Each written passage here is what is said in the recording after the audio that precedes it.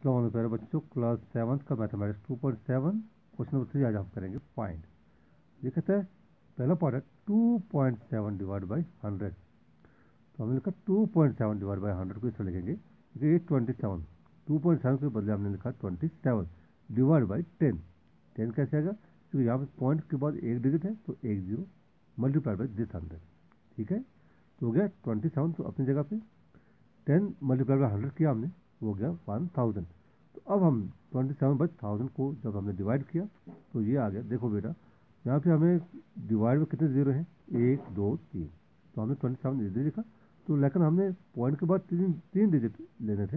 हो गया zero point zero two seven ये हो गया हमारा answer second part zero point three divide by hundred इस तरह zero point three divide by hundred तो हमने इसको किस तरह लिखा? हमने ज़ीरो पॉइंट थ्री को चेंज किया थ्री बाई टेन में।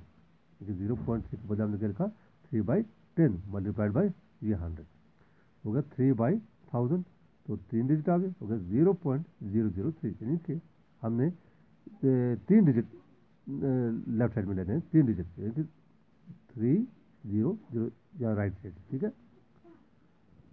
तो फिर उसके बाद थर्ड पार्ट है हमारा zero point seven eight divide by hundred दूसरा हमने seven zero point seven eight को चेंज करके सेवेंटी एट बाई हंड्रेड लिखा हमने।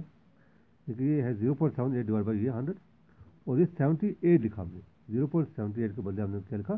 Seventy eight divide by hundred multiplied by this hundred हो गया seventy eight divide by ten thousand हो गया। तो यहाँ पे हमें फोर फोर ज़ीरो थे डिवाइड में तो हमने फोर डिजिट लेने हैं।